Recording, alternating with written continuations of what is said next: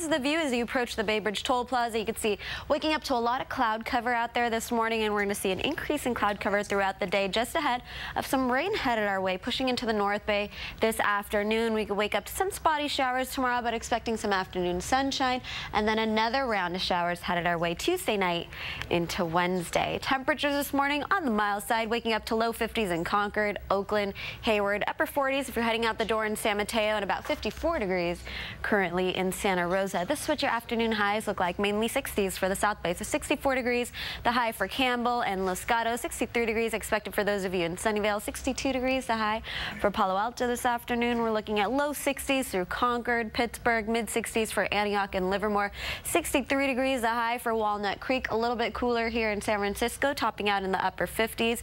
Ocean Beach getting to about 57 degrees, and we're looking at a mixed bag of upper 50s and low 60s for the North Bay this afternoon. Now we do have a cold front pushing in, so we're going to see that increase in cloud cover just ahead of some showers headed our way, starting off in the North Bay. So spotty by nature by about 2 p.m. You can see the light green starting to push in, growing a little bit more widespread for the North Bay in the evening hours. Also some moderate downpour in Santa Rosa by 9 p.m. By 10 o'clock, crossing over the Golden Gate Bridge, making its way into San Francisco.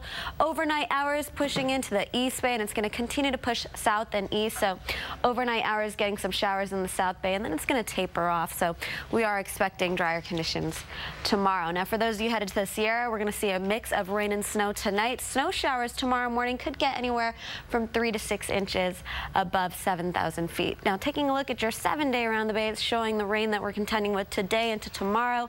Sunny skies for Monday, and then another chance of showers by Tuesday into Wednesday.